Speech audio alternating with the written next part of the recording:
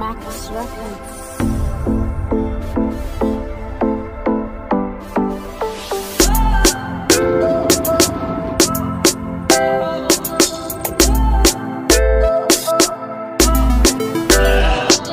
to adjust the environment.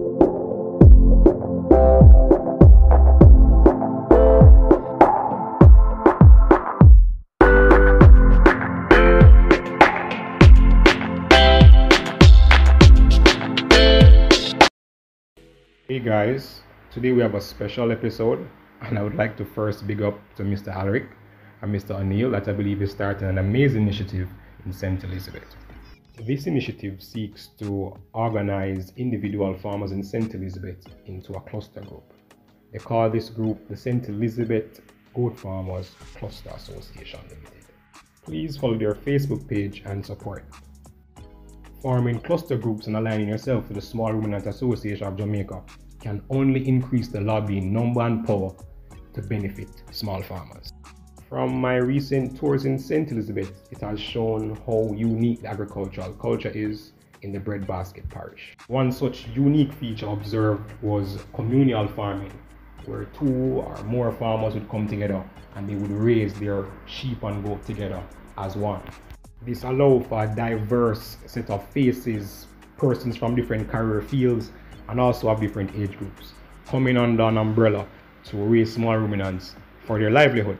This level of organization and trust between farmers can reap benefit once key stakeholders partner with these farmers to drive them to a level of success.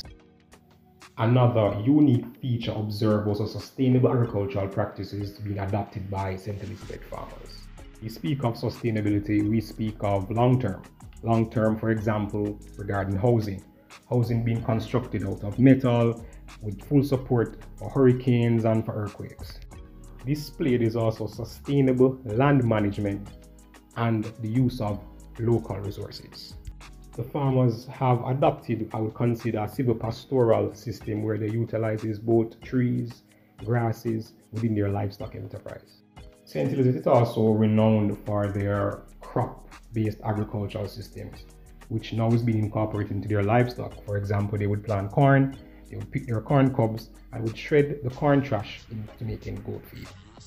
These farmers also believe in adopting new technology to their system, while now we're seeing they're doing plastic bag silage on their farms. For young farmer, Mr. Lazarus, or teenage goat farmer, has seen the importance of adding a security feature to his farm to protect his investment. Even the plan to improve in housing, following one of our close clients, Mr. Henry. For house style you go follow? Henry's farm. Where you know Henry from? Instagram, me see it farm. Say it one more time. Hi, bro. IPRO and myself is committed to driving the St. Elizabeth farmers to a next level.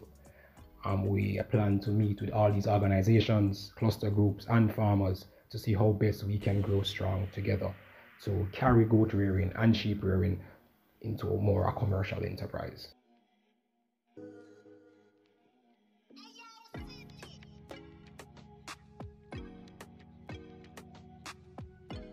So after a long day in the field, now we get really hungry and it's just time to look some food. So we're traveling through Junction St. Elizabeth, right where they have the, the cow skin soup. And we met with Mrs. Salesman, who gave us a lovely plate of rice and peas and chicken. Myself, Mr. Bernard, and his wife.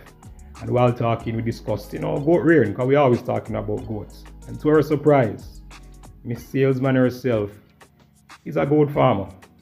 Let's follow Miss Salesman on our tour. Meet Miss Salesman, restaurant entrepreneur and livestock farmer. Miss Salesman led us on a tour of her farm to Oh, JJ, nice, to man. a lovely goat stuff. Miss Salesman eat name each animal. Um, JJ, JJ. Boca, all contribute to our business operation. This is nice. This is a this is a really nice native animal and oh this is nice. JJ. JJ is considered a Jamaican Creole or native goat, which are goats that were introduced from the 16th century that has evolved due to natural selection and we consider them a local ecotype. further understand the characterization of the native goat, please check a paper written by Mr. David Miller and the late Derek Vermont that speaks to phenotypically address these native animals. So, Miss Salesman, what what is the the cost you get for goat meat here down in St. Elizabeth? Well, live, it's $500 per pound, but the clean meat is $1,100. So if I'm supposed to come to your restaurant and get a plate of, you know, chevon, what would be the cost for that? Like you get a couple fingers of green banana, a plate of curry goat, maybe a slice of yellow yam, some steamed vegetable, you'll have to give me $1,500. Okay. And you just, are you, these are the animals that you grow for yourself? Yes. So you're making the maximum profit. That's what I think. you know, no middleman I deal with from start to finish, to the end product. From start to finish, it's my thing, so. Amazing. The famous mulberry. You know that this is goat feeding. Yep. High protein, High protein is one of the. You, you, you very know, you- digestible. You must plant up a whole heap of this on your Yes, and you just feed them it. Just cut the limit now. Don't you just cut it and Morus alba, aka Mulberry, is known in Jamaica for its fruits.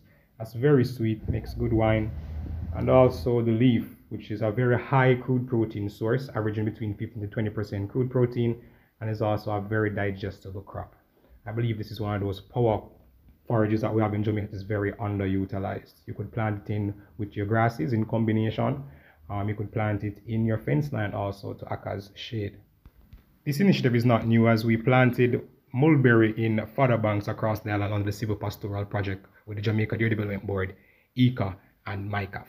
I believe one of the greatest news for. Elizabeth farmers is that the government has already invested heavily in providing resources in the St. Elizabeth parish. For example, the Hounslow Demonstration Training Center, which is specific for small ruminants. They have a reproductive lab also that offers AI and embryo transfer and is very underutilized. I believe the St. Elizabeth Cluster Group and also this new trend of goat farmers could put back this Honda DTC on the map as a training center for the region.